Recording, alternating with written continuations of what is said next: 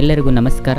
ಈ ಒಂದು ವಿಡಿಯೋದಲ್ಲಿ ಮುರಾರ್ಜಿ ದೇಸಾಯಿ ಆರನೇ ತರಗತಿ ಪರೀಕ್ಷೆಯ ಮೆರಿಟ್ ಲಿಸ್ಟ್ ರಿಸಲ್ಟ್ ನೋಡೋದು ಹೇಗೆಂದು ನೋಡೋಣ. ಬನ್ನಿ ಸ್ನೇಹಿತರೆ. ಮೊದಲಿಗೆ Chrome ಬ್ರೌಸರ್ನಲ್ಲಿ K E dot K A R dot nic in ಅಂತ ಸರ್ಚ್ ಮಾಡಿ. ಇಲ್ಲಿ ಬರುತ್ತೆ ಇದು ಕೆ ಓಮ್ ಕರ್ನಾಟಕ ಸೀಟ್ ಅಂತ ಇದನ್ನು ಕ್ಲಿಕ್ ಮಾಡಿ.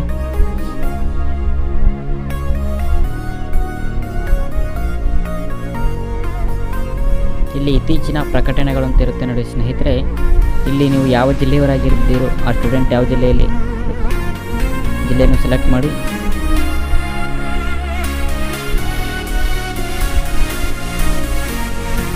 P D F file download ಆಗುತ್ತೆ ಸ್ನೇಹಿತರೆ. Karnataka examination authority admission to Karnataka residential education institution rank list ಆಗಿರ್ತದೆ ಸ್ನೇಹಿತರೆ.